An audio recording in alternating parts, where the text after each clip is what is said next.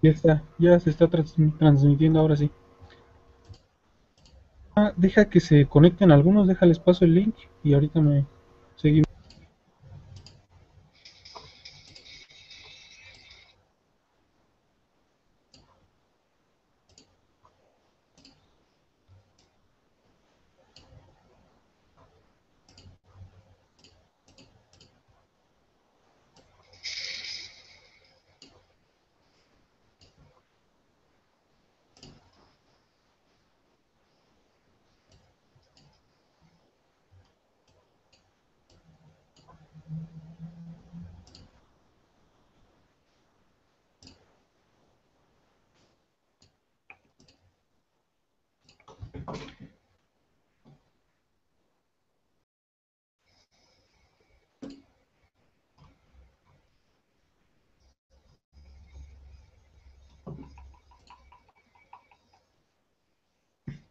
Un momento, por favor.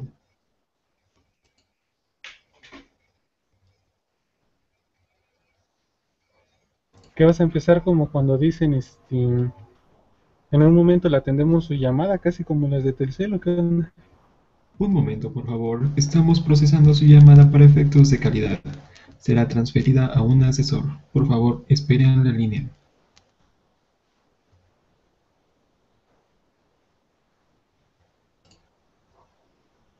¿Esperamos a, a que se conecten tres o qué onda?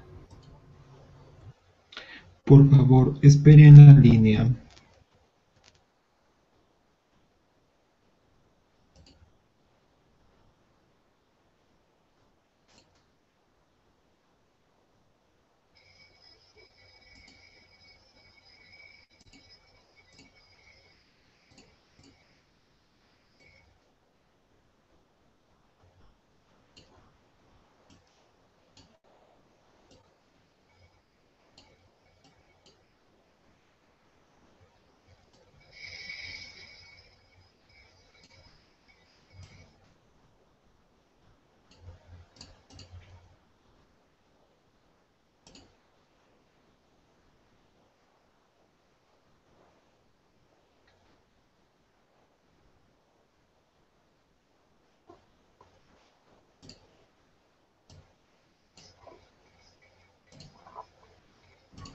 ¿Ya están dos conectados o son ustedes?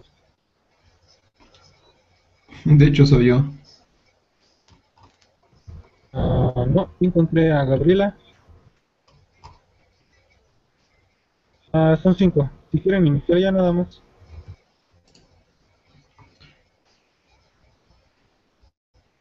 Este, hola, ¿qué tal? Buenas noches. Este es Hangout para comentar algunas cosas acerca de los permisos y comandos básicos, ya que la vez pasada no habíamos tenido la oportunidad de mostrarlo. Este, como saben, nos salimos bastante del tema y bueno, pues nada más. Este, si quieres empezar, José, con los comandos que me habías dicho, luego te sigue Carlos y luego Arnoldo, serían comandos básicos y si quieren pueden mostrar algún otro comando ya un poco más avanzado o, como ustedes gusten, nada más mencionan ahí la función que este tiene.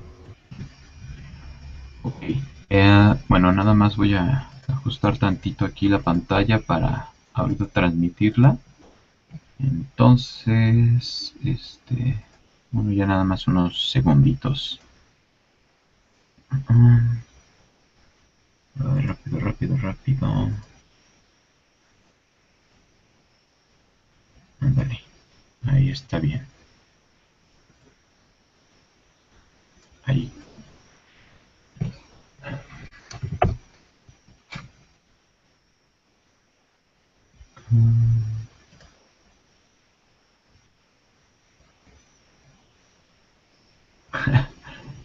¿Ya se están peleando aquí o qué? Este, si quieres iniciar, Carlos,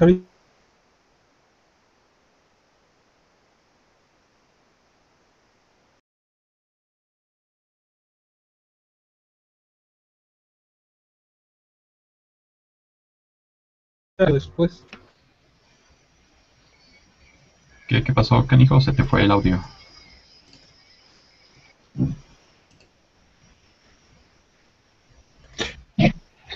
Soy yo, Camilo. ¿Qué más?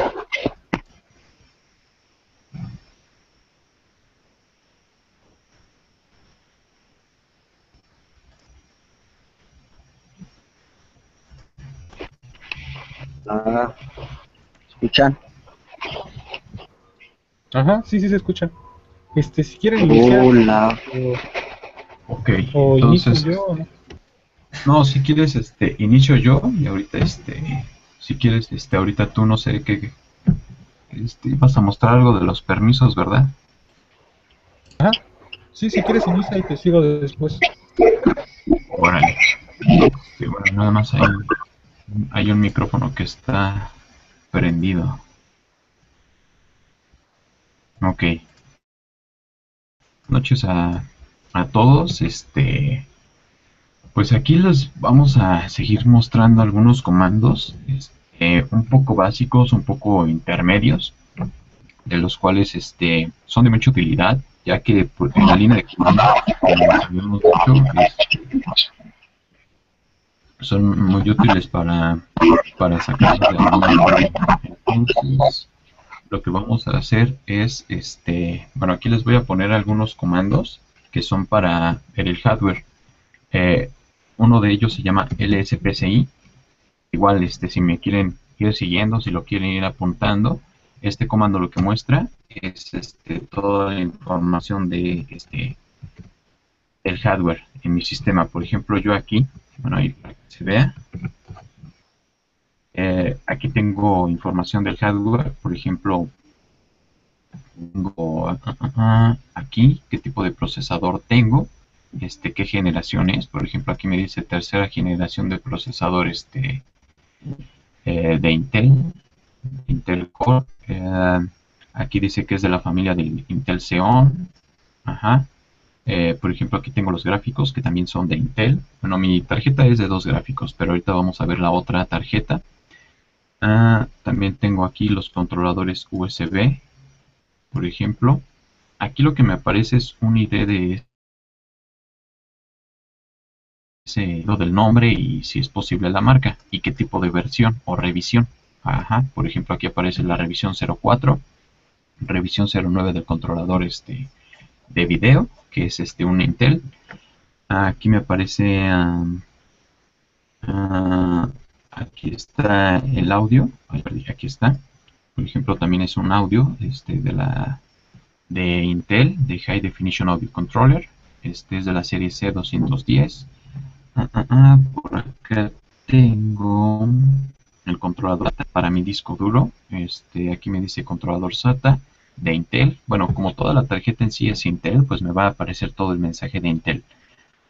Eh, SM Bus, que es para la, la, controladora de tarjetas como las micro SD, eh, las USB y algunas conexiones extras. Aquí tengo la otra tarjeta de gráficos, de hecho aquí dice que es una controladora 3D.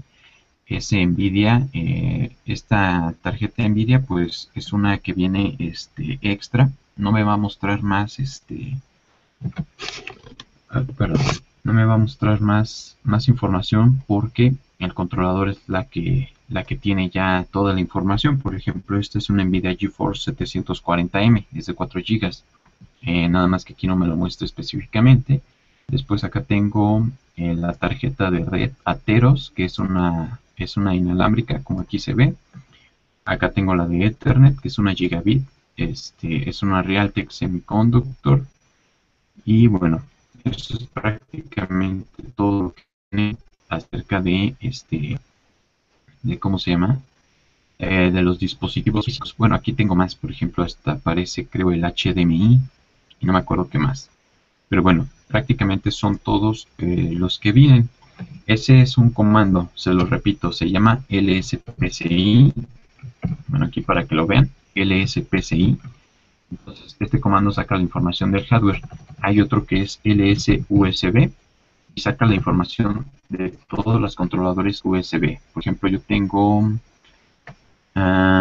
estos controladores que son del hub del USB. Aquí tengo un controlador este, de USB 3.0 y acá están los de USB 2.0 que serían mis dos entradas de USB y la de tarjetas de, micro SD. Eh, ¿Cuál otra tiene esta? Memory Stick. Eh, si es Memory Stick M2 de Sony. Bueno, ahí vienen este, incluidas. el ratón que tengo ahorita utilizando, que es este, bueno, que está conectado por USB, que es un Genius Net Scroll 120, es un mini ratón, mini traveler, de hecho. Eh, también está conectado por, eh, por un bus USB el lector de discos. Y bueno, prácticamente eso es este todo lo que viene acerca de la información de ese USB. Ah, por aquí tenemos otro comando que es este LSCPU. Este muestra prácticamente la información del CPU. Entonces, como ven, aquí por ejemplo dice qué arquitectura está, eh, qué modos de arquitectura soporta, 32 y 64 bits, aunque por, por la capacidad de mi máquina, que es de 16 GB, este, utilizo el de 64 bits, por eso aquí se refleja. Ah, ¿Cuántos CPUs tiene? Que son 4 cuántos están en línea listados, es del 0 al 3, o sea 0, 1, 2, 3, y ahí son 4 CPUs, cuántos hilos y cuántos eh, núcleos por socket hay, y bueno, aquí nos dice también el, vendedor, o cómo se llama, el fabricante más bien, eh, llamémoslo fabricante, aquí dice eh, de Intel, eh, en algunos les aparecerá que es AMD, o bueno, depende la, el tipo de procesador. A los ARM, pues aquí va a aparecer el vendedor, pero prácticamente los procesadores para escritorio y portales son Intel y AMD. Este, qué familia de CPU es, qué modelo es, este, a qué frecuencia están trabajando, cuál es la frecuencia real, si tiene virtualización, por ejemplo aquí me aparece la virtualización, a los que no les aparezca virtualización les aparece cero o NA o, este, o les pone que no, que no incluye la virtualización. Aquí en este caso sí. Aquí tengo la información del L1 caché, L2 caché y L3 caché. Y bueno, entonces este, este comando prácticamente me muestra información específica del CPU. Hay otro comando, por ejemplo en Ubuntu ya viene instalado uno que se llama DMI decode Ah, pero este se debe de utilizar en modo de superusuario. Para los que tienen Ubuntu tienen que poner sudo su este, y su contraseña, ¿no? En mi caso nada más pongo su, estoy en Debian y aquí es un poco diferente. Entonces, este, al poner mi contraseña, pongo el comando que les mencionaba de mi de code. Les voy a mostrar las especies de hardware, de todo el hardware específicamente de su máquina. Este, aquí donde estoy.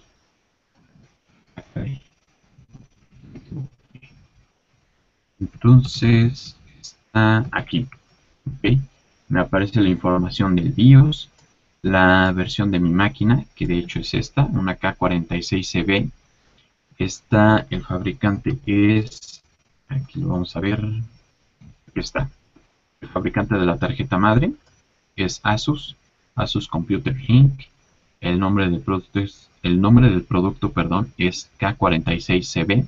La versión 1, número de serie, y de hecho concuerda con la etiqueta que viene abajo de mi máquina. la etiqueta de asistencia. Ah, bueno, aquí vienen más detalles del chasis, quién lo fabricó. Este, aquí me aparece el número de serie. Esta etiqueta también en la parte de abajo de mi computadora viene y ahí se está interpretando qué tipo es. Por ejemplo, aquí es una NOC o, bueno, una computadora portátil en pocas palabras. Este, ¿qué más viene? Importante, bueno, aquí la descripción del Bluetooth. Aquí, ¿qué más viene? ¿Qué más viene? Bueno, vienen muchas cosas, pero en específico viene eso. También vienen las memorias RAM. Ah, bueno, aquí del caché, memoria física.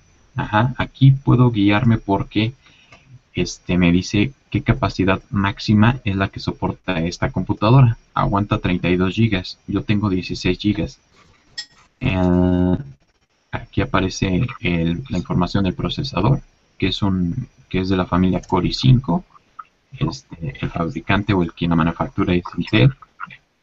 Este, aquí tengo ah, aquí está la memoria por ejemplo esta corre a, 1333 MHz hay una memoria de 8 GB aquí y hay otra memoria de 8 GB acá. Ajá. Entonces toda esa información me la va a mostrar hasta qué tipo de memoria es. Por ejemplo, esta es una SODIM, es de las minis. El ancho de banda es de 64 bits. Entonces este comando es muy importante y la verdad este funciona mucho. Si alguien no lo tiene, puede poner apt-get install dmi de code y ya lo ya instala ese paquete que muestra la información de su computadora, o sea, todo el hardware más específicamente así como lo vimos aquí.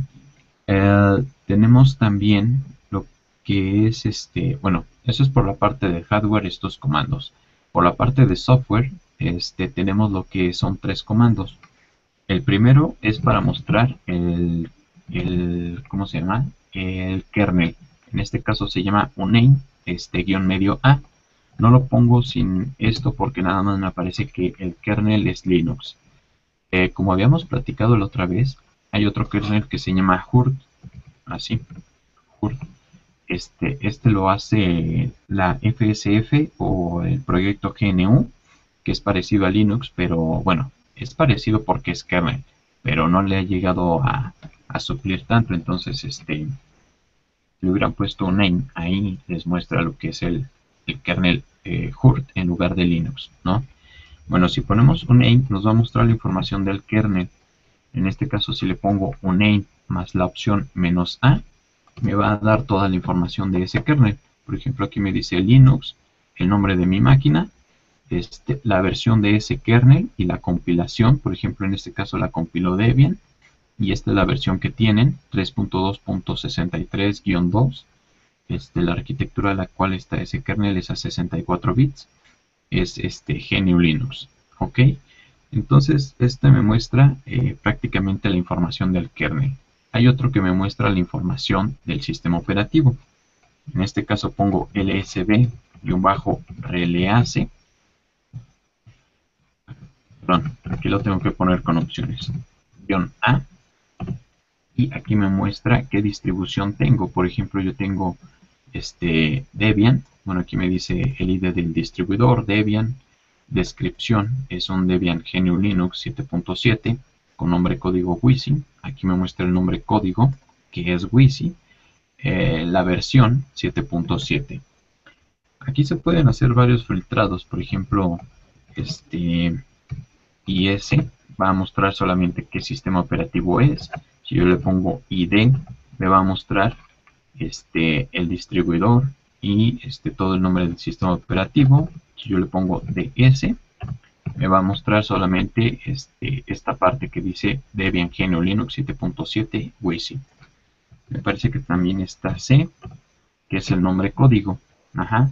Aquí me aparecen, como ven, una columna con el, eh, por así decirlo, el código nombre y WYSI. Si yo nada más quiero que aparezca WYSI, lo filtro con S. Ajá. Entonces ahí se pueden mezclar varias opciones. De hecho aquí en el manual de um, LSB Release, LSB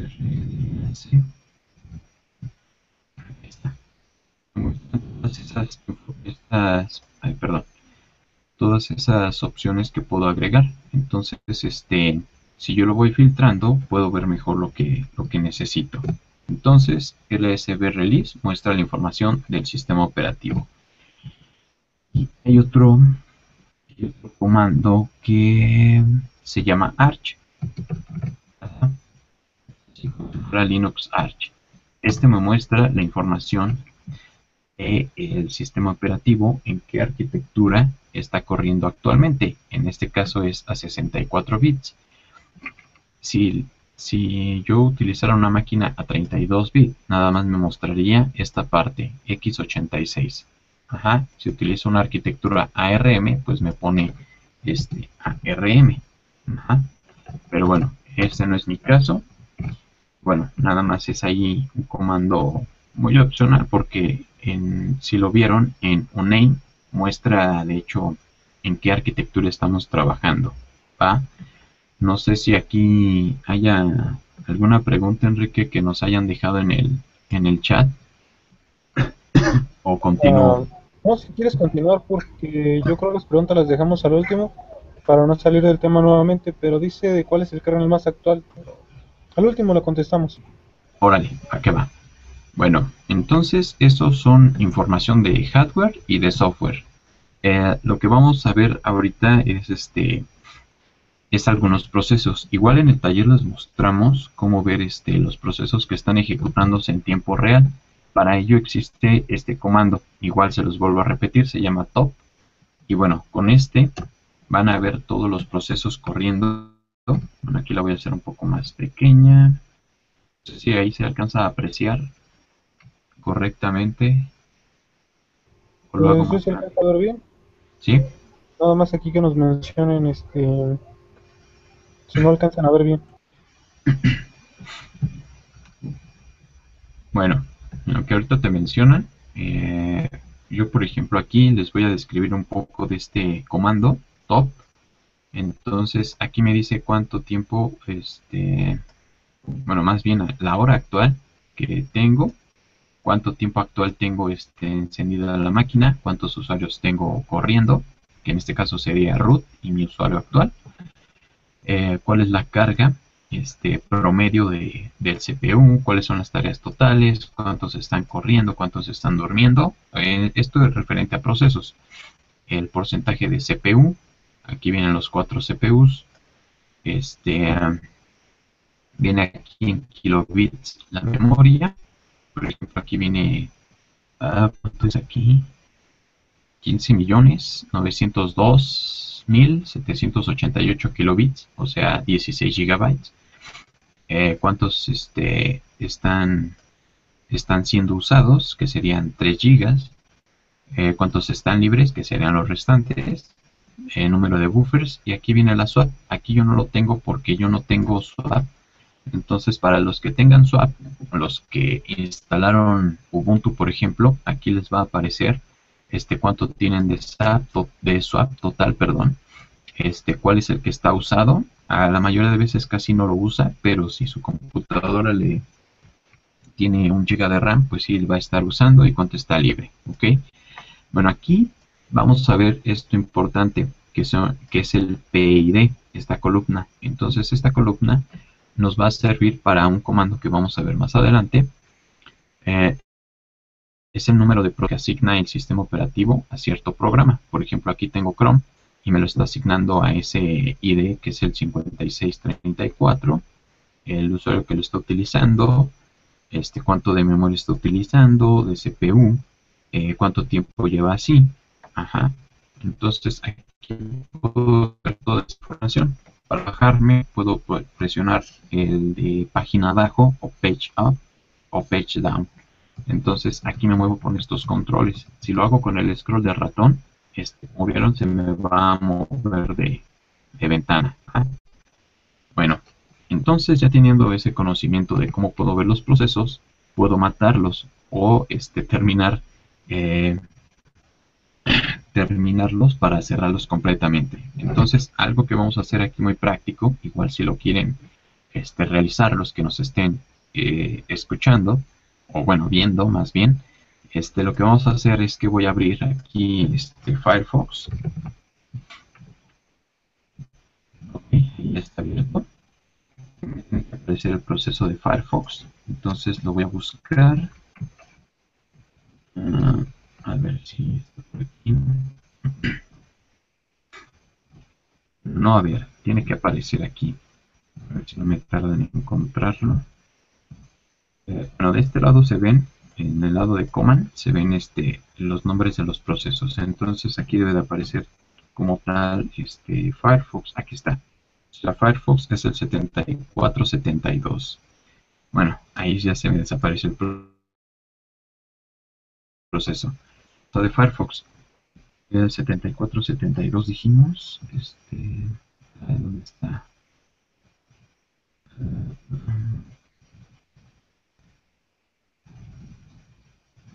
Vamos a suponer que es ese y esperemos que sí. Entonces lo que voy a utilizar es un comando. Voy a detener la consola con control C. Bueno, perdón, este, el comando top con control C. Ya vuelvo al prompt.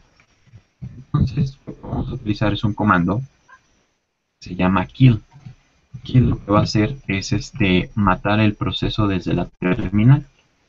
Eh, aquí lo voy a poner. Aquí en fondo tengo a Firefox. Entonces, si yo le pongo kill 7472, me tiene que cerrar Firefox. Ok. Ahí lo cerró, como ven. Entonces, este, aquí con este kill se matan procesos llamándoles por el PID, que es el que vimos aquí en, en top. Matar procesos, es, bueno, este es para matar procesos específicos. Suponiendo que yo tengo dos ventanas de Firefox, les asigna PIDs diferentes o números de ID.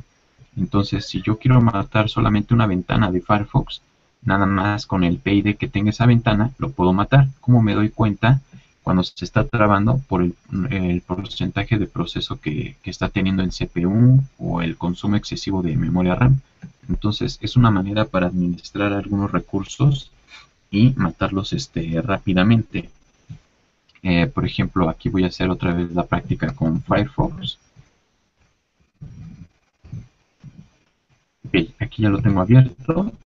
Entonces lo que voy a hacer es ahora aplicar el comando kill al, así todo junto. Aquí lo voy a hacer más grande. al más el nombre del programa. Esto lo que va a hacer a diferencia de kill es que puedo llamarlo con el nombre del programa. Bueno, en este caso no se llama Firefox, se llama, como yo lo configuré, se llama Mozilla, Mozilla Firefox. Entonces con este va a cerrar todos los procesos que tengan este nombre. Entonces vamos a hacer la prueba, a ver si es cierto. Aquí ya tengo kill all Mozilla Firefox. Presiono Enter y listo. Ya me cerró Firefox totalmente del sistema. Ya no quedan residuos en memoria. Completamente lo eliminó. Y puedo continuar este si se trabó. Puedo volverlo a abrir y a ver qué pasó, ¿no? Entonces, este, es muy común que pase eso. Entonces, kill all este, mata todos los procesos. Si yo quiero matar solo un proceso, utilizo kill y el, ID de ese programa en específico. ¿Ok? Este, igual, si tienen dudas, háganosla saber. Si, si, lo están poniendo en práctica, igual les recomiendo que lo hagan. O si no, este, el día de mañana en el taller nos pueden preguntar con toda confianza este, se los podemos este, ahí repetir rápidamente. Bueno, eh, aquí hay una, hay una cosa importante. Bueno, eh, top es para ver este, los procesos.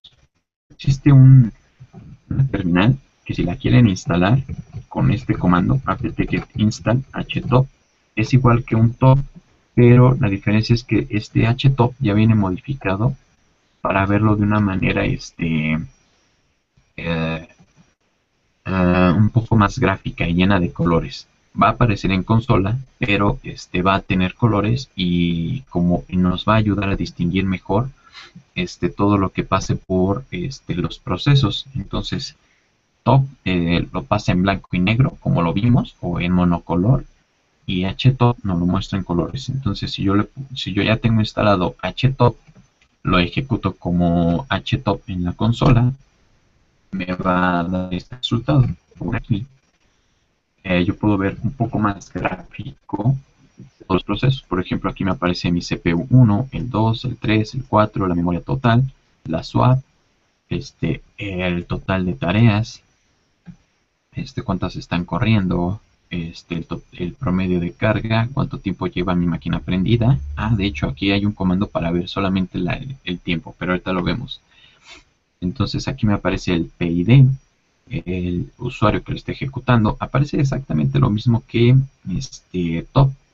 Pero aquí la única diferencia es que, aquí nos muestra la ruta completa de dónde se está ejecutando ese proceso. Entonces nos puede llamar la atención y podemos rastrear fácilmente qué proceso está dañándose.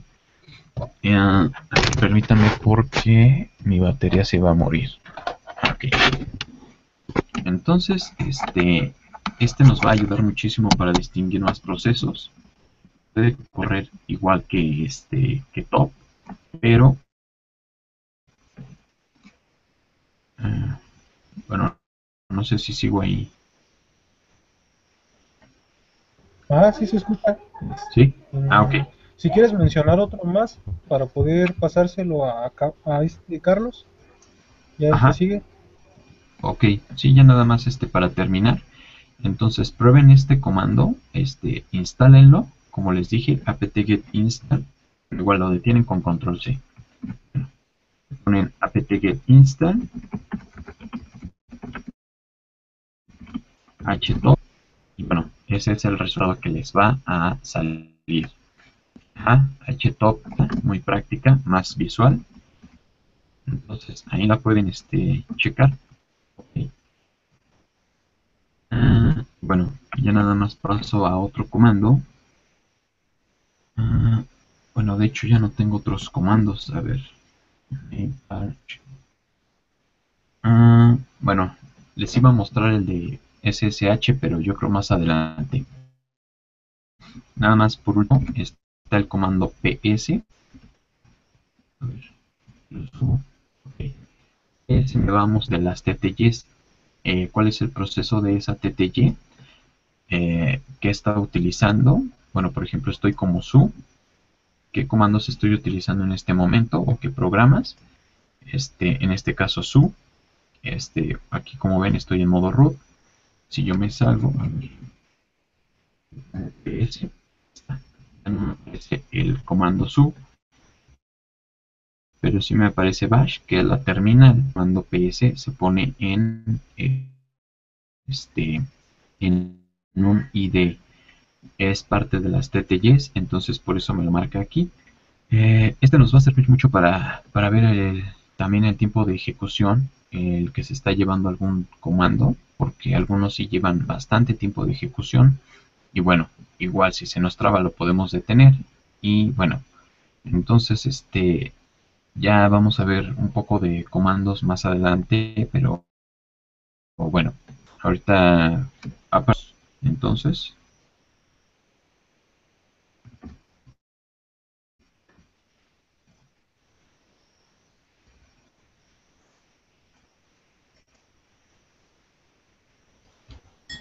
Si quieres Eh, iniciar, buenas. Carlos. Este, sí, eh, ya me había tardado por aquí. Esto, pues ya vieron los comandos de ls, lspi, lspsi para listar todos los, Ajá.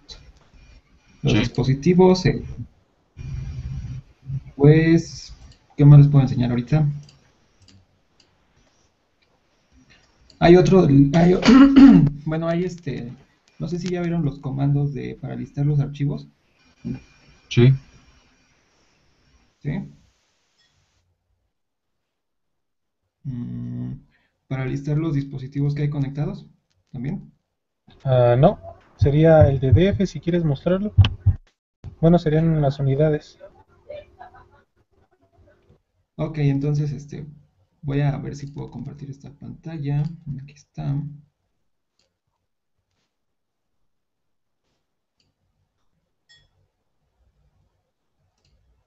Eh, en este caso les voy a...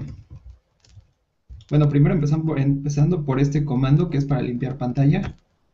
Muy útil cuando tienen este, llena su pantalla de, de, de cositas, ¿no? Se llama clear. Y a decir verdad no hace más que recorrer una página la, lo que se está viendo en la terminal, ¿no? Bueno, empezando, este, vamos a empezar lo que es el, el comando ls. Obviamente el ls muestra el contenido de lo que tienes en la carpeta donde estés. Pero el ls usb, por ejemplo, nos muestra todos los dispositivos que tenemos conectados.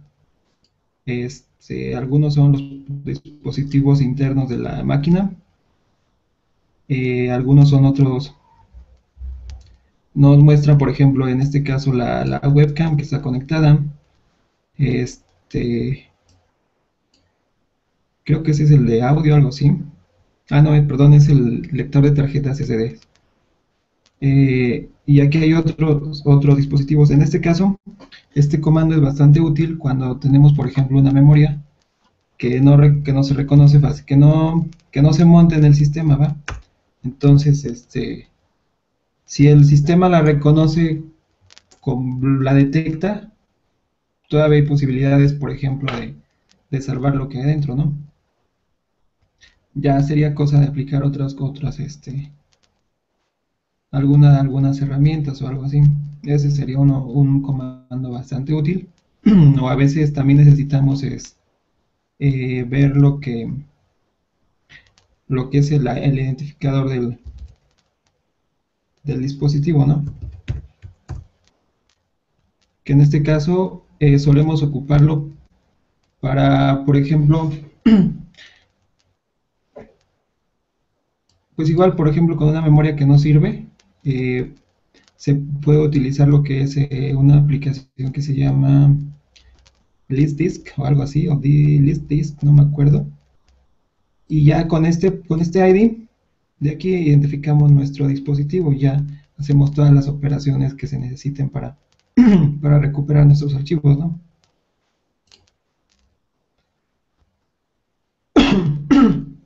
Perdón por la voz. Em, ¿Qué otro comando? Mm.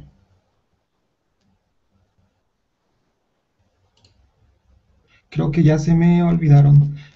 Si quieres continuar con otro, Enrique. Ah, sí, le tocaría este Adrián, que es el de Ashley, es el que nos acompaña, y después este Arnoldo.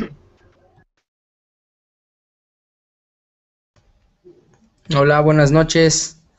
Este, pues bueno, este, ya dieron lo del comando, por ejemplo, pwd, find, Ah, ¿no? locate, worries. No, si quieres comentarlos. Ok. Va que va. Ahorita configuro pantalla.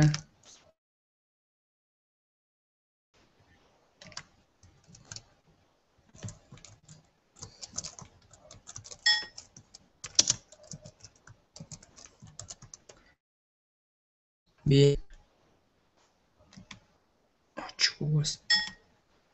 Ah, ya está de tener.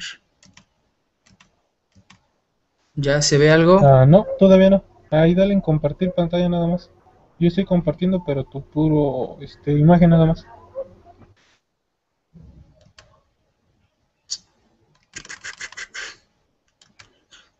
Está ya todos los participantes. Ahí está ya, a ver, escritorio. Ahí está. Ahora sí. Ya se ve, ¿verdad? Ándale, ya, ya, se ve. Perfecto. Bueno, pues vamos a iniciar con el comando. Yo les voy a enseñar el comando pwd.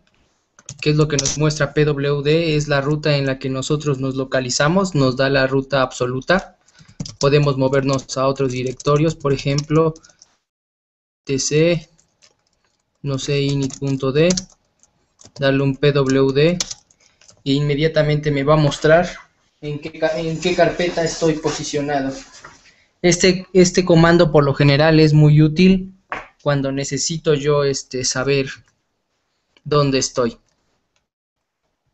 Bueno, el siguiente, el siguiente es el comando locate, perdón, el comando man primero. Con el comando man, si ustedes le dan man, por ejemplo, el que, el que vieron ahorita con el compañero, con el compañero anterior, USB, nos va a mostrar información sobre este comando. Los, las opciones que nosotros le podemos pasar para obtener distintos resultados o simplemente saber la versión. Y así podemos hacer o incluso con PWD que les acabamos de, que les acabo de enseñar. Podemos hacerle un man al man y ver, por ejemplo, cuáles son los tipos de man que podemos tener. Podemos tener en el man, en el man 1 programas, bueno, en el man 1 tiene programas ejecutables y guiones de intérpretes. El 2 son llamadas al sistema. El 3, como lo dice acá, llamadas de las bibliotecas. 4, ficheros especiales. 5, pues formatos de ficheros. 6, juegos y así en adelante. Algo que me llama mucho la atención y que yo utilizaba era, por ejemplo, a ver, no sé si ahorita lo tengo instalado. Es que, por ejemplo, también incluso no necesariamente, ne- bueno, no es necesario que tengamos, este, que utilicemos man para saber información de un comando. También lo podemos hacer de las propias librerías del sistema. Esto por lo general lo ocupamos mucho en programación de sistemas. Si se dan cuenta, acá me aparece información de los, de los flujos de entrada, de salida y de error. Me dice también información sobre qué es lo que me provee ese TDO y cosas así. Las, y las funciones que me provee con una pequeña descripción. A su vez, si por ejemplo yo quiero darle un man, supongamos a... No, no lo tengo.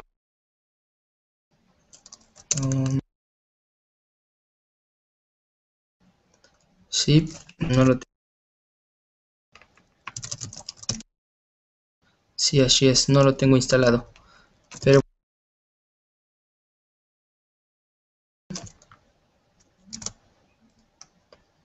¿Dónde, dónde es el paquete para poderlo instalar?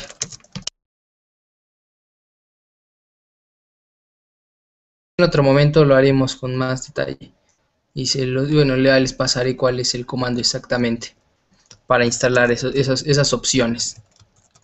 Bien, otro comando que les quiero mostrar es, por ejemplo, el comando.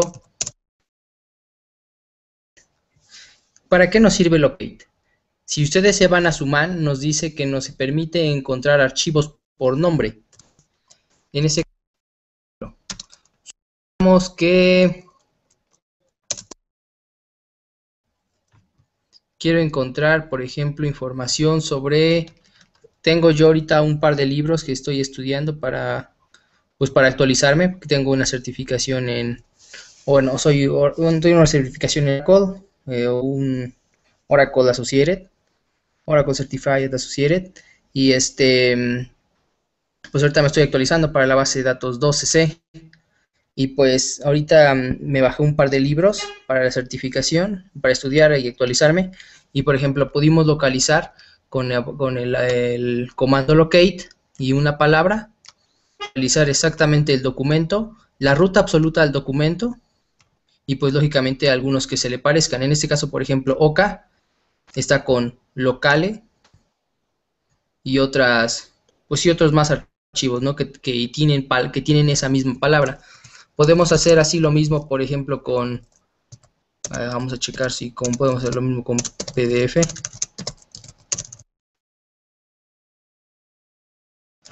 Y por ejemplo, aquí me, está, me va a mostrar todos los PDFs o los que tengan alguna palabra en PDF. Vamos a checar si podemos hacerlo por extensión. Así es, miren. Si se dan, pues muestra todos los, pues toda la información o todos los, todos los archivos que podemos tener, que tienen en este caso en mi, en mi disco con punto PDF. ¿No? Ese comando es muy útil, por ejemplo, cuando quieres buscar el nombre de un archivo y más o menos te acuerdas de cuál es su, nombre. Otro comando, por ejemplo, que les quiero mostrar es el comando fdisk. fdisk tiene que ser usado con de administrador. Lo que me va a permitir este comando es decirme exactamente el tamaño de mi disco duro. Lógicamente, estas son las partes internas de cómo está dividido un disco duro. Mm, esto por lo general lo, a lo van a ver, por ejemplo, en, las tablas de particiones. Lógicamente, los que tengan tabla de particiones GPT, esto va a cambiar. Pero en este caso ya mía es un formato de una tabla de particiones MBR, que es un formato convencional. Y por ejemplo, me dice que acá tengo 10 particiones, ¿no?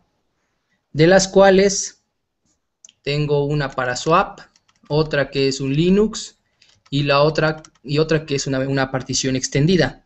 Lo que me proporciona una partición extendida es que por definición en, en MBR no, yo nada más puedo tener cuatro particiones primarias. O habría que luego estudiar el por qué, pero este, así me lo permite MBR pero MBR me permite tener una partición extendida. Lo que me permite una partición extendida es dentro de esa misma partición poner, poder tener otras particiones, como ven aquí. En este caso, dentro de, mi extendida tengo una, dos, tres, cuatro, cinco, seis y siete particiones. Estas siete particiones yo las voy a ocupar para lo siguiente puedo ocupar para tener, bueno, para tener distintos sistemas operativos. En este caso, si se dan cuenta, acá tengo un NTFS. No es un no es un Windows, simplemente son mis respaldos de archivos. Yo sé que a lo mejor debía haber puesto otro sistema de archivos, pero por ejemplo, cuando yo tenía, yo tenía que tener este instalado en la escuela un Windows para hacer tal cosa y yo necesitaba compartir archivos. Desafortunadamente a veces en Linux, en los sistemas de archivos X4 no me deja este...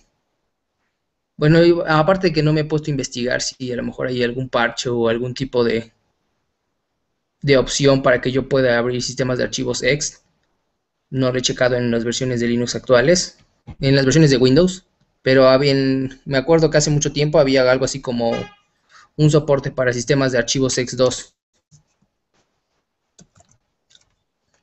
Bueno, este comando me va a mostrar, como les había dicho, las particiones que tengo. ¿Sale? En mi disco duro. En este caso, si yo tuviera más discos duros, me aparecerían acá mismo abajo con, esta, con, una, con una descripción más o menos igual o los, otras los otros discos duros que yo tuviera conectados. En este caso, por ejemplo, ahorita tengo una, si tengo una memoria USB, van a ver cómo me la va a mostrar.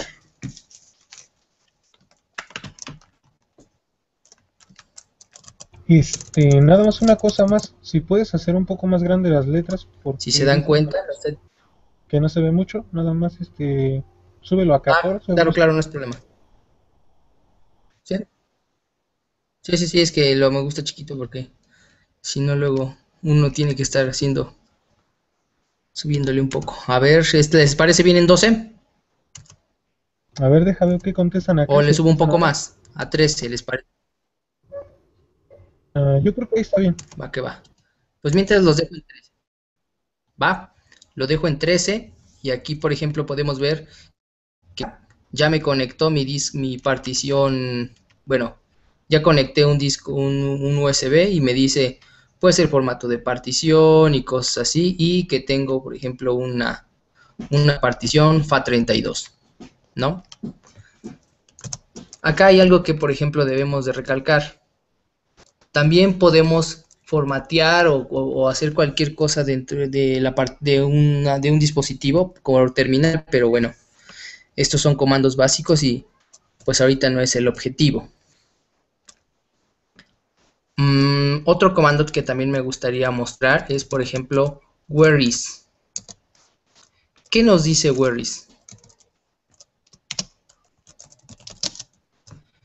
Queries me va a permitir localizar binarios, código y, mm, páginas de manual de cualquier comando, de cualquier binario. En este caso, por ejemplo, si yo le doy where ls, automáticamente me va a mostrar dónde está, dónde está localizado el binario y su referencia a una página del manual de los man page, ¿no? Cuando le damos man ls, accedemos precisamente a ese archivo. Probemos con uno más complicado, por ejemplo, fdisk. Igual de la misma forma fdisk me lo, va, me lo va a mostrar, me va a mostrar su ruta completa y la ruta de su manual. Algo que hay que recalcar si se dan cuenta, bueno, no sé si aquí a este, este el compañero Gudiño, este Enrique Gudiño, sí, sí se llama Enrique Gudiño. Bueno, ah, sí, sí, Ah, perfecto. Este, no sé si les explicaron, este, por ejemplo, cuándo es un bin, diagonal bin o diagonal ese bin. Lo mencionamos, pero si quieres explicarlo aquí bien. Bueno, por lo general, los comandos este, que, es, que, puede, que puede manejar el usuario se encuentran en diagonal bin. Si se dan cuenta, estos comandos, si ustedes los ejecutan en, un usuario cualquiera, los van a, van a poder acceder. Sin en cambio, si ustedes quieren ejecutar uno que esté en ese bin, por lo general les va a pedir una contraseña. Y bueno, una contraseña o una cuenta de administrador. Si no la tienen, pues simplemente no les va a, no les va a permitir hacer la ejecución de ese comando. Hay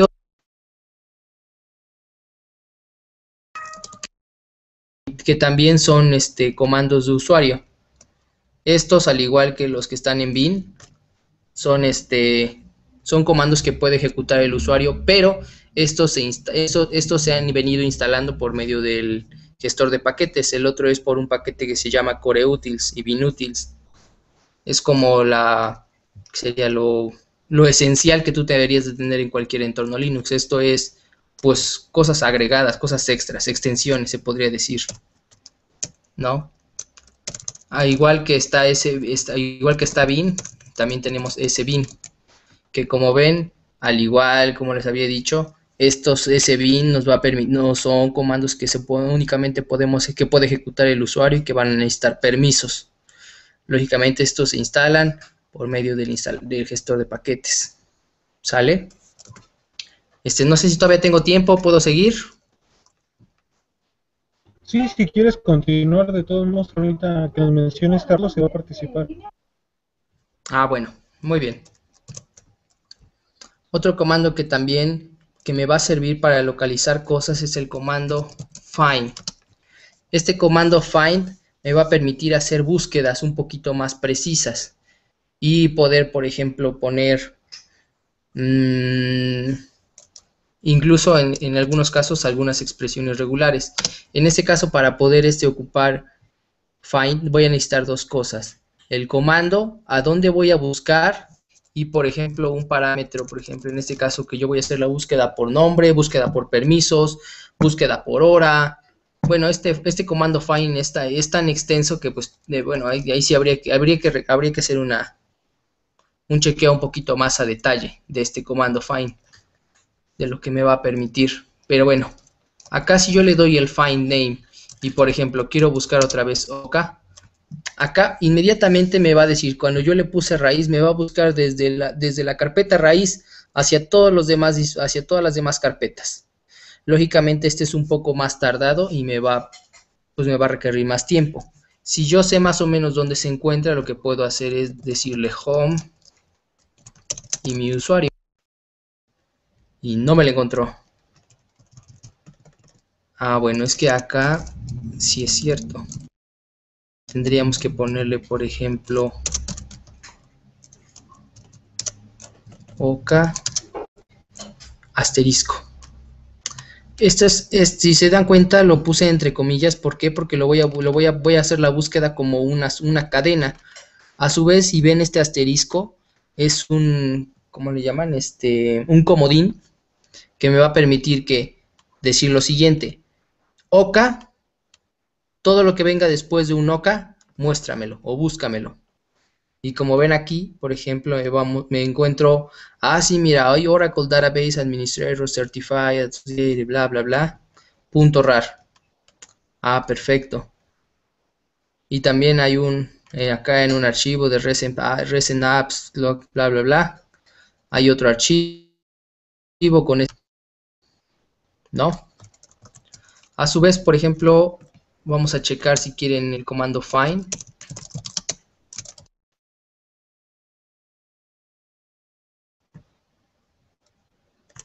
Y bueno, aquí van a encontrar muchísimas cosas del comando find, pero quiero encontrar en específico el que me permite encontrar por aquí está a newware a time Ah, por tiempo. Ah, miren. Por grupo. No, pues este comando está muy cañón. Está muy intenso. Y pues deben de darle una checada más a detalle. En este caso solamente, por ejemplo, voy a darle un find. A mi... Que tenga 6.5, a ver no tengo ningún 765, que tengan un 777, ahí está, miren. En este caso me va a mostrar con el comando find todos los archivos que tengan los siguientes permisos, 777, que son absolutamente todo, todos los permisos. Y me va a encontrar que, por ejemplo, tengo ah, en WordJS una, una carpeta que se llama Biobu, SSH Agent, tiene esos permisos. Acá también en la carpeta Mozilla tiene todos esos permisos. Este, no sé si también ya les explicaron lo de los permisos y cosas así.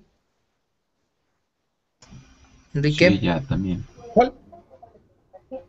Ah, perfecto. Ya también ya les mostraron este cómo cambiar permisos y cosas así. Ah, sí, es el que ahorita les voy a mostrar yo. Ah, ok, ok, entonces perfecto. Ajá. No, sí, no, no hay problema. Este, si quieres mostrar otro o dejamos que pase José para que nos muestre el SSH. No, está bien, este... Mm, por último, para despedirme, me gustaría, por ejemplo, mostrar si ustedes quieren verse pros, no sé, este, con sus chicas o con cualquier persona, pueden, ustedes, podemos ejecutar dos comandos que son muy interesantes. Uno es el de, el de reiniciar la máquina y el de apagar. No sé si también ya se los enseñaron, Enrique. Ah, lo vimos, pero si quieres No lo voy a- aquí para los que no lo saben. Bueno, ok, ya lo vieron. Bueno, entonces en ese caso, el comando reboot me va a permitir apagar mi máquina de manera segura y, y arrancar de nuevo el sistema. Y el comando power off lo que me va a permitir es hacer el apagado de mi sistema desde consola. En este caso, por ejemplo, los, los- las personas que se le dedican a la, a la parte de sysadmin, estos, a veces estos comandos son muy útiles. Porque, no, bueno, no, no- son muy útiles porque a veces tienen que apagar y reiniciar máquinas virtuales, porque por lo general se trabajan así, se trabajan por medio de máquinas virtuales, pero igual, sí he llegado a ver que, por ejemplo, en algunas máquinas que por alguna extraña razón el sistema está empezando a hacer cosas raras, lo tienen que reiniciar, pero bueno, esas son palabras muy, ya son palabras, pues muy, o sea, son como para cosas muy, muy detalladas y pues no sé, no sé bajo qué criterios se debería, se debería de reiniciar un server. Por lo general nada más es a iniciar y reiniciar servicios, matar y reiniciar procesos. Eso es lo que comúnmente se hace. Pues bueno, yo me despido, esos son mis dos últimos comandos, muchas gracias. Este, si quieres iniciar este, Pedro. Ok, ¿me escuchan, chavos? Sí, claro, se escucha bien. Perfecto, compartir pantalla, ¿verdad? Eh, Eh, lo que sería... mm,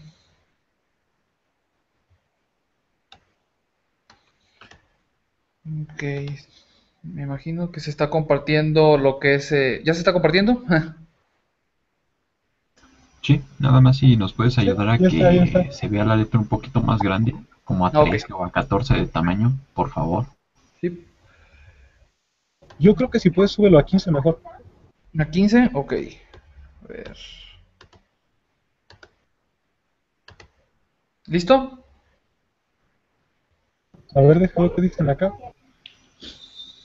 Te digo que sí se ve bien, pero Si no lo subimos a, a 20, no hay problema. no, no, no, sin problema. Quieres un 16 para que mm, no haya ningún problema, creo que ya con esto.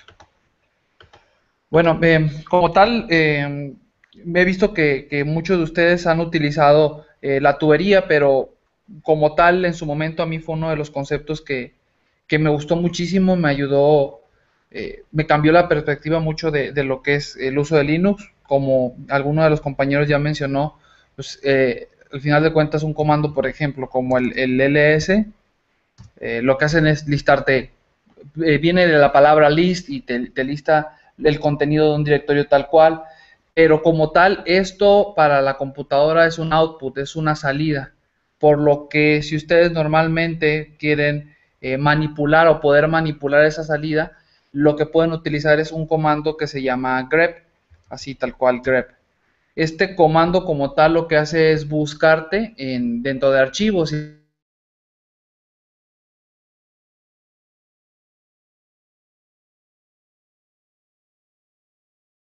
ser y esta es la famosa tubería que les mencioné. Esta tubería lo que hace es decirle tal cual, eh, en inglés la, conocen como pipe, tal cual lo que lo, tu salida quiero que me la pases al comando grep, sea, toma la salida, se la pasa a grep, grep la empieza a procesar y yo le podría decir menos i por ignore, o sea, ignórame y búscame algo que pues, empiece con, con d, por ejemplo, en este caso d y que siga lo demás, que lo demás que después que esté la D no nos importe, y pues aquí lo que, lo que nos empieza a listar es eh, como tal, bueno, en este caso no, nos, eh, nos imprimió los que tienen, eh, los que contienen la palabra D, pero ahí hace el ignore, es ignora entre mayúsculas y minúsculas. En un ejemplo más grande para ver la potencialidad de, de, este comando, eh, o bueno, para, para ver la, la potencialidad de la tubería, es si quisiera hacer un, un, listado, pero en este caso de lo que es el, eh, el que es donde se encuentran eh, todos mis comandos para ejecutar en Linux. Si yo hago esto como tal, se me va a saturar la pantalla y si pueden ver, hasta se perdió lo que era mi, eh, mi, bueno, eh, mi puntero anterior y me está mostrando todos los resultados, pero sin filtrado. Un comando que a mí me ayudó mucho para que ahora sí nos vaya listando, pero un poquito de manera más pausada, es el ls tubería para que el output lo procese y pasarle el comando, pasarle la, la, salida al comando more. Lo que va a hacer more es que los va a ir eh, listando poco a poco. A ver eh, si lo escribió bien. Aquí mi pantalla se ve medio rara. ls em, bin hasta ahí, está tubería more ahora sí funcionó lo que está haciendo es que no me mostró todos los comandos de golpe si, si se fijan al fondo de la pantalla está la palabra more lo que me está indicando es que yo al presionar o la línea o perdón la barra espaciadora lo que va a hacer es que me va a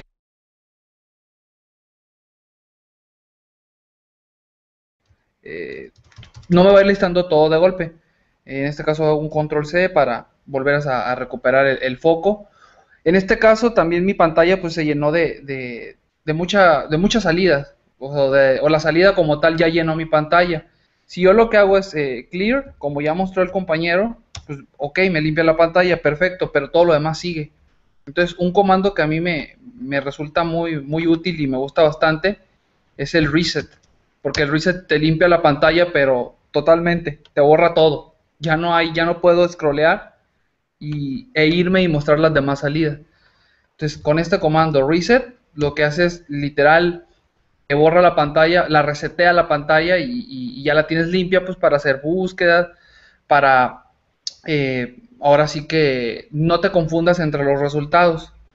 Otro comando que ya lo mencionaron, ya lo mencionó el compañero, el, comando find, pero en mi caso, cuando tienes tu máquina particionada, lo que pasa es de que al final, bueno, en el caso de Fedora, depende de la distribución cómo, cómo, lo haga, pero en el caso de Fedora, lo que hace es montarte la, la, partición del otro sistema operativo en lo que es la carpeta run. Entonces, cuando tú hagas un find, por ejemplo, voy a buscar mm, el archivo tool, tools de, Java, es un, es un archivito YAR que, que a veces utilizo para darle permisos a Java o, dependiendo del problema que tenga. Ahorita no recuerdo el uso, los usos que le doy, pero normalmente es pues para darle permisos a, applets eh, que, me ha tocado, que, me han pedido en, algún, en algún trabajo. Entonces, tú si tienes el comando find, lo que haces es de que, aunque, y si más si estás logueado como root, te va a buscar dentro de la carpeta run. Entonces, si tú quieres buscar un archivo como tal y Mm, eh, saltarte, que te busque dentro de una carpeta, por ejemplo, lo que haría es que búscame desde la raíz eh, el eh, tipo archivo. aquí lo que va a hacer es buscarme un archivo. Bueno, mm, sería no. Mm, e, este signo de expresión normalmente los que somos programadores significa, es una negación. Entonces le dices no path, o sea, no en la ruta, run. No recuerdo si, si lleva una, diagonal como opción pad. Ahorita igual nos va a decir la computadora si no funciona. Entonces, no quiero que me busques en run lo que es, y le paso con el grep, ignorándome mayúsculas y minúsculas, el archivo tools.yar. Eh, a ver. De hecho, creo que ahorita lo había ejecutado anteriormente. Vamos a buscarlo. Ah, bueno, esta es una funcionalidad de la terminal que, al ser eh, como tal em, comandos básicos, nos puede ayudar bastante que te vayas regresando, eh, presionando lo que es la, la tecla de la tecla flecha para arriba. Bueno, vamos a ponerle aquí no pad. Sí, así era, era con no pad porque es, es una opción. Lo que está haciendo es que aquí está buscando, bueno, está buscando el archivo tools.yar pero lo que hace el nopad, este que tenemos aquí, bueno, control C, lo que hace este nopad es que omite esa ruta. O sea, búscame dentro de, mi sistema de archivos de Linux, pero no en, no en esta ruta. O sea, le skip, y lo iba a decir en inglés, sáltate esta ruta como tal, Y con la tubería, el output que me des, pásaselo a grep y grep filtrame. Entonces, esos son básicamente los comandos que, que a mí me han ayudado bastante y que sí me abrieron mucho el panorama de, en cuanto al uso de, de Linux. ¿Alguna pregunta? Ah, si tienen dudas, nada más este, lo dejan ahí en, lo- en la parte del chat para que al último las contestemos. O sea, las preguntas las dejamos al último. Ok, ok.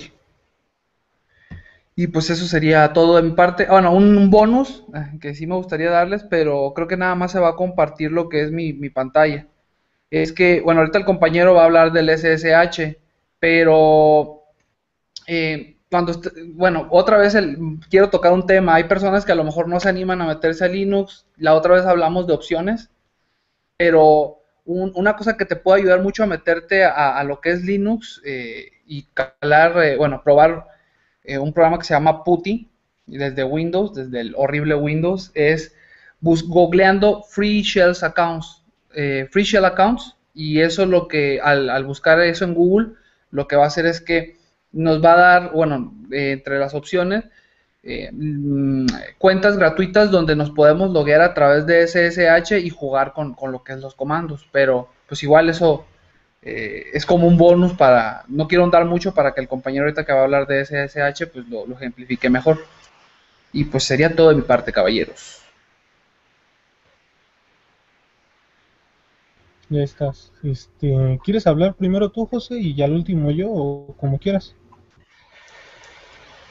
Este, no, como, como sea. Lo que pasa es de que, bueno, la- para los que están este ahorita este siguiéndonos, este ahorita en eh, como les voy a mostrar el comando SSH, pues sí este requiero ahí que me digan si este en su terminal, bueno, si si están siguiéndonos con su terminal para poderlo hacerlo, para poder, ah, perdón, para poder hacerlo ahorita en vivo, porque acabo de crear una cuenta en mi servidor. Entonces, en mi servidor, este, ustedes se pueden meter y yo los puedo ir monitoreando, que así este, vean cómo o qué son las conexiones SSH, nada más que aquí coméntenos, este, que, eh, bueno, si sí están conectados con terminal y si no, pues lo dejamos para el día de mañana.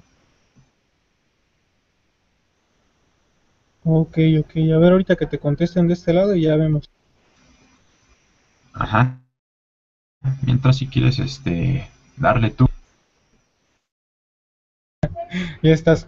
Este, bueno, déjenles comparto aquí pantalla. Y básicamente lo que vamos a ver es lo que ya estuvimos re- revisando en el taller, pero no sé si les quedaron dudas la vez anterior. Este, a ver, creo que aquí es en. ¿Dónde está? Eh, mostrar para todos. Me avisan si no se ve la terminal, nada más abren el micrófono y me avisan porque ahorita no voy a poder estar revisando lo que es la, la parte del chat. No, de hecho sí, sí se ve Este- ahí claro, nada más maximiza tu ventana para que se vea Ahí. mejor. Ándale. Está. Este, bueno, aquí lo que les muestro son tres archivos, lo que es uno de texto plano solamente. Este que dice hola, pues como tal solamente contiene un mensaje. El otro sería un script, está hecho en Python, y el otro un script que está hecho, bueno, este, utilizando lo que es el intérprete de órdenes, en este caso Bash. Y bueno, de este lado tenemos lo que son los permisos de, que se manejan. Estos primeros tres pertenecen a lo que es el propietario que realizó lo que es el archivo y el propietario lo podemos ver en esta parte. Los siguientes tres permisos le pertenecen a lo que es el grupo y los siguientes tres permisos son permisos que le pertenecen a lo que son usuarios externos a, a nuestro usuario en este momento. Por ejemplo, si yo tuviera otro usuario en este momento que se llame Enrique, este, los permisos que va a tener son estos tres. En este caso yo ya se los apunté aquí. Si quieren este, anotarlos, de todos modos yo se los voy a dejar en la parte de abajo y pues nada más. Lo que es la R sería igual a leer y su valor octal que este contiene sería un 4. La W sería escribir y su valor octal sería un 2. El otro es ejecutar y su valor octal es un 1. Este, pues nada más. Si Este dice no Ah. se no se está viendo en, en YouTube. a ver, déjame acomodar eso. Ajá. Ah, ahí la ves. Bueno, hay que me digan si la ven.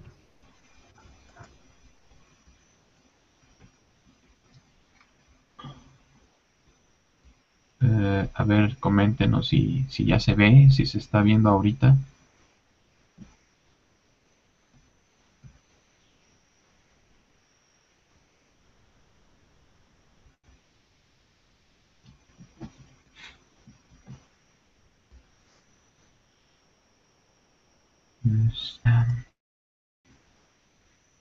No, todavía no nos comenta nada si se está viendo. Ni idea, de hecho estoy compartiendo para todos. Detener, silenciar, ¿está bien?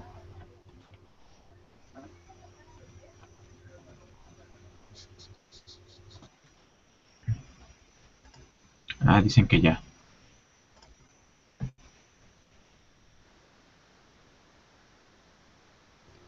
Ya nada más me avisan si, si le subo el, lo de esta parte de la letra y demás. Este, ¿en qué me había quedado? Pero ahí se ve, se ve bien. Sí. Bueno, ahí me avisas en el, bueno, me avisas si, si no se alcanza a ver porque yo en el chat no voy a poder ver.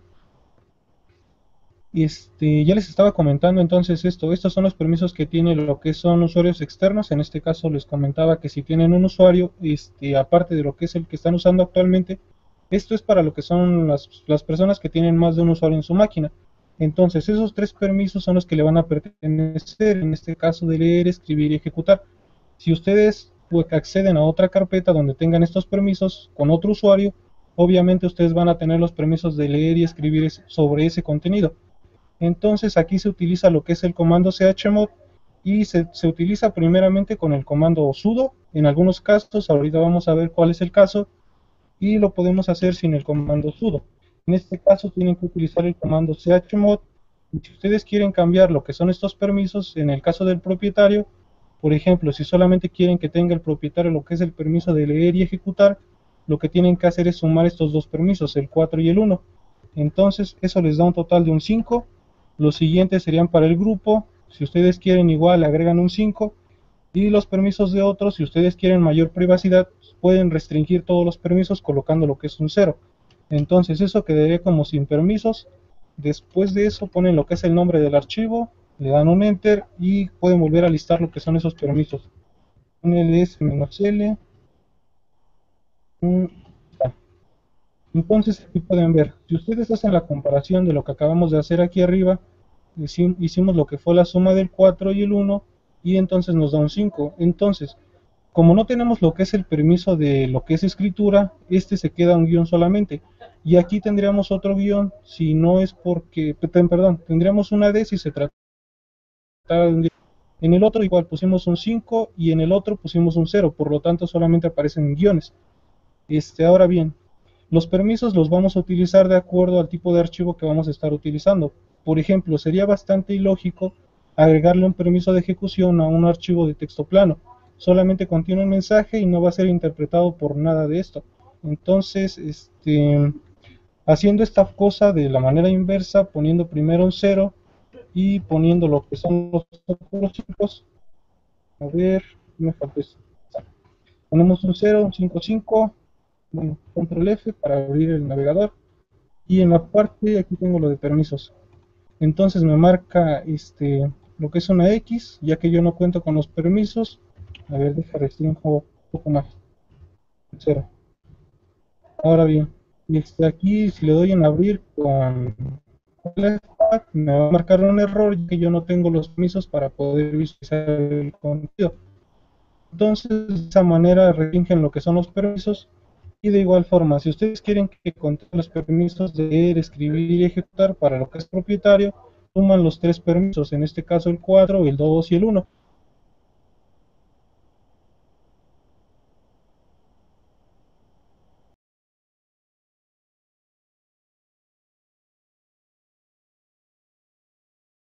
le dan clic derecho, le dan se van a la parte de permisos y aquí lo pueden modificar. Entonces este, sería otra forma. Aquí le modifican y nada más ahora bien si ustedes quieren cambiar lo que es el propietario ahí sí se tiene que utilizar el comando sudo ponen el siguiente comando ponen el nombre del nuevo propietario en este caso lo voy a mandar al ROT y el nombre del archivo en este caso me pide lo que es la contraseña solamente la anotan un ls-l y nos debe de aparecer el nuevo, el nuevo propietario. Este, ahora bien, si nosotros queremos cambiar lo que son los permisos solamente con el comando chmod, nos va a denegar lo que es el cambio ya que el archivo no nos pertenece. Entonces ponemos un chmod 770 y nos dice que nosotros no tenemos lo que son los permisos. Y de igual forma, si nos vamos a la carpeta, nos vamos a propiedades, nos vamos a permisos, en la parte de abajo nos dice que no, este, no nos pertenece. Bueno, aquí no me aparece, pero en Nautilus sí les debe de aparecer. Este, entonces nosotros no podemos hacer ningún cambio, de hecho todas las opciones se bloquearon. Este, si ustedes quieren regresarlo, pues solamente cambian aquí lo que es el nombre. Y si ustedes quieren cambiar lo que son los permisos, tienen que poner lo que es el comando sudo, ya que ya no nos pertenece el archivo. Y para regresar al usuario anterior, en este caso que le vuelva a pertenecer, le ponemos el, el mismo usuario que tenía, en ls-l, y ya está. Entonces, esa sería la forma de cambiar lo que son los permisos. No sé si tienen alguna duda. Este, realmente es bastante sencillo. De hecho, yo tengo un tutorial de cómo hacer esto, por si les queda alguna duda. Este, sería para restringir los permisos en, archivos un poco más delicados, para que solamente ustedes tengan lo que son accesos a hacer la modificación. Y pues nada más, este, si quieren agregar un archivo, un usuario nuevo, utilizan el comando user add seguido de lo que es el nombre del nuevo usuario y nada más. A ver. Ah, no. Ya está. Ahora bien, este usuario no contiene lo que es ninguna contraseña. Entonces, para agregarle la nueva contraseña, utilizan el comando passwd. Sí, sí. Y ya está. Aquí le pongo uno. A ver. 1, 2, 3, 1, 2, 3 y está. Entonces así sería la manera de agregar lo que también es un usuario, lo que es cambiar la contraseña. Si ustedes quieren cambiar la contraseña de su máquina, bueno, de su usuario, ya sea para el usuario roto, para su nuevo usuario o el usuario en el cual están, se utiliza este comando. Entonces solamente les pide, en el caso de que tengan ya una contraseña, les va a pedir que pongan primero la contraseña y luego repitan la otra contraseña, la nueva contraseña. La forma de eliminar un usuario este, desde la terminal sería con el comando userdel y nada más. Entonces, algún otro comando. Creo que no les mencionaron el de htop, pues igual solamente aquí. htop, ya puede seleccionarlo. En la parte de abajo tienen para hacer lo que son filtreos, búsquedas, ayudas, el F9 para este, lo que es matar procesos y el F10 para quitar esta parte. Este, también está un comando, a ver, déjenme lo veo como rot, porque este, este que utilizo es ZSH y por lo tanto no me permite que yo me equivoque, entonces este, pongo SL, estos son comandos este, un poco más, prácticamente por si te equivocas, ya se los había mostrado. Y también está el comando tree, que se lo tenemos que instalar, a ver, y nos muestra lo que es esta parte en forma de árbol. Entonces dice cero directorios y tres archivos. Y pues creo que nada más. Yo ahorita les sigo comentando esto. Si quieren pasarse a la parte de servidores para no pasar más todo el tiempo.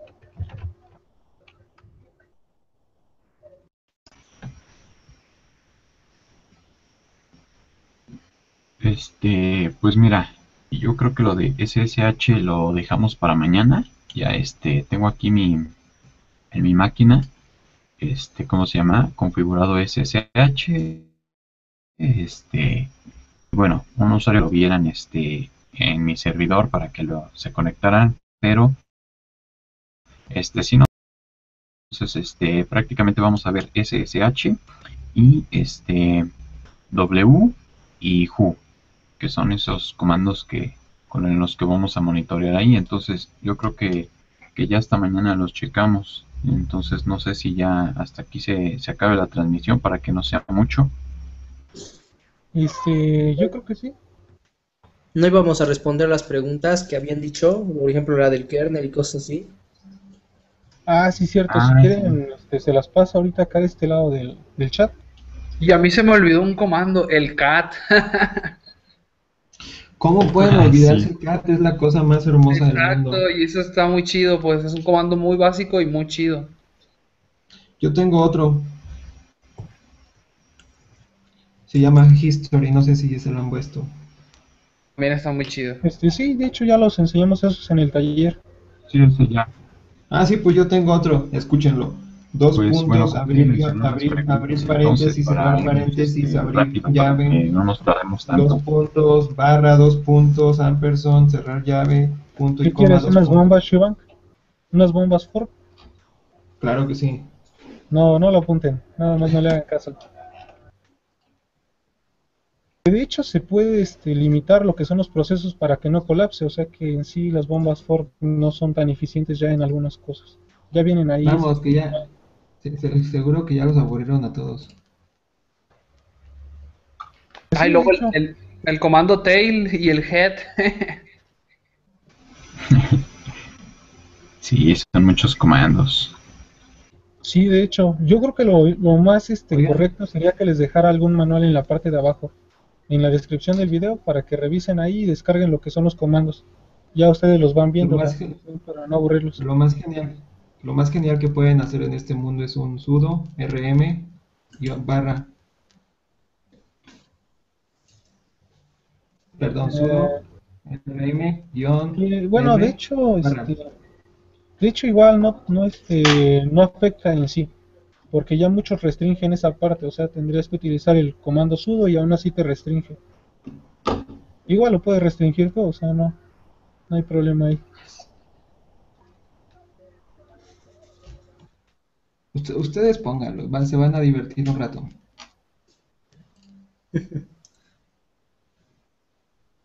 Bueno, pues igual, este, si ven la de mi, pa- si ven mi pantalla, este, aquí ya tengo la página donde está, este, la versión del kernel más actual. Ay, chihuahua, pensé que me habían silenciado. No, no, no, tú síguele, adelante, estamos escuchando. Este, eh, si ustedes se dirigen a la página kernel.org, van a ver que acá la versión que está actualmente en desarrollo es la versión 3.18. La versión actual, la versión estable es la 3.17.2 y la bueno, la versión la otra versión estable que es la 13.16 está considerada como estable. Si ustedes quieren bajar la fue- las fuentes, van a poderle bajar desde aquí. Le dan doble clic y automáticamente les va a bajar un paquete de 76.8 megabytes donde van a poder ustedes estudiar si quieren esa parte. Bueno, a su vez, aquí por ejemplo podemos ver las versiones más actuales, más este, que son consideradas como long term support. En este caso, por ejemplo, podemos ver que la versión 3.14 es mantenida por el desarrollador Greg Krohartman y pues fue lanzada el dos- en 2014 el 0330 y tiene, tiene este soporte hasta agosto del 2016. A su vez, pues igual la 3.2, la 3.10, 3.4 y la 3.2 de los que muchos utilizan todavía en sus Debian. Aquí está, este, el soporte termina en 2016. Se espera que para la versión, que cuando salga la versión 3.18, se convierta en la siguiente este, versión, este, pues long term release kernel. A ver, ya sería cuestión de ver qué dicen los propios desarrolladores, pero por mientras, si ustedes quieren ir siguiendo los cambios, lo que pueden hacer es dando- darles vista, darle view diff a cada uno de los cambios que van haciendo aquí los desarrolladores. En este caso, por ejemplo, si ustedes ven en verde, son las líneas extras que han agregado y las en rojo, por ejemplo, las líneas que han eliminado. Es de una manera más simple. A su vez también se pueden ir al Git directamente en GitHub. También ahí están las fuentes del kernel y pues ahí pueden ver y sabrosear sabroso el kernel. ¿Sale? Pues de mi parte eso sería todo. Muchas gracias. Ya está. Este, ¿Quieren mencionar Sí. algo más? Yo creo que ya está aquí, este, ya para mañana estar preparados con lo que les comenté. Y pues nada, Sí, de igual forma me preguntaban si se podía, bueno, qué tanto se podía personalizar lo que es la distribución.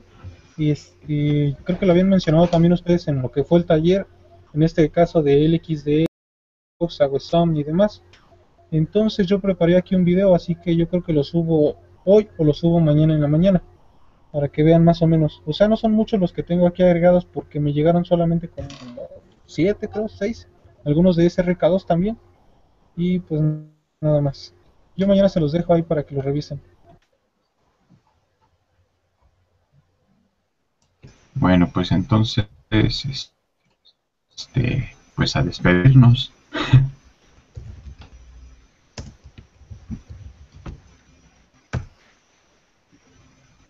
Bueno, pues entonces, este sería todo. El día de mañana, que son del taller, este, no sé si se quieren ir despidiendo, Adrián, este, Arnoldo, Carlos, Enrique. Claro que sí. Pues bueno amigos, muchas gracias por su tiempo y pues esperemos que hayan aprendido algo este día. Buenas noches a todos. Que descansen.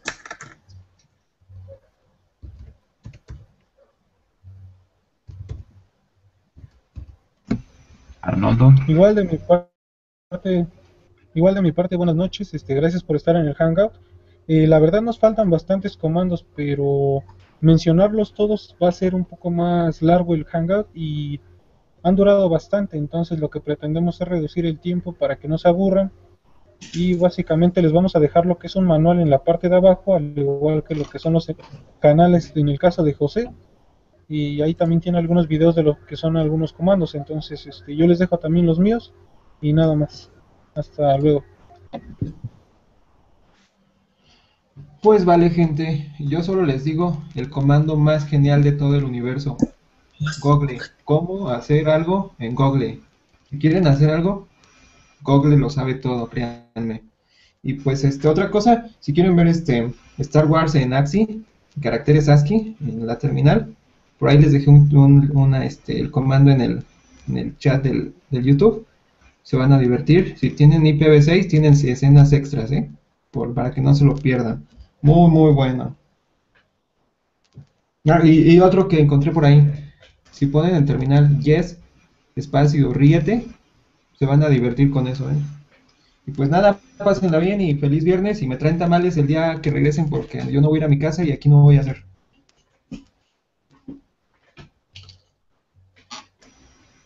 Arnoldo, ¿algo que, que decir? Pues muchas gracias, igual eh, faltaron bastante comandos, pero pues fue una, una, velada muy buena porque aprendí mucho de ustedes, hay comandos que, que, no había visto. Y pues nada, ahora sí que a todos los usuarios conectados les digo, con un comando eco, buenas noches. Otra cosa okay, interesante muy bien. que pueden hacer. Bueno, yo soy José Flores, este, ya me despido. Igual, de mañana nos vemos y pues pasen buenas noches. Ya si quieren volver a repetir este video, pues lo pueden hacer porque va a estar ahí colgado en el canal de, de este Enrique. ¿Vale? ¿Algo más que decir, Enrique? ¿O ya es todo? Este, no, pues nada, de mi parte igual es todo. Que pasen buenas noches, nos vemos mañana en el taller. Y pues ya está. Ya nada más si quiere decir algo este Carlos para cerrar la transmisión. sudo shutdown-h 00 2.00 se va a apagar a la 00. Te hacen lo del yes, jaja, píquenle control C. ya está. Simón. Ya está, ya está. No pongan un hold o un power off y ya. Bueno, pues ya está. Hasta la próxima. Nos vemos en el siguiente hangout el día jueves a las 9 de la noche. Ahora sí.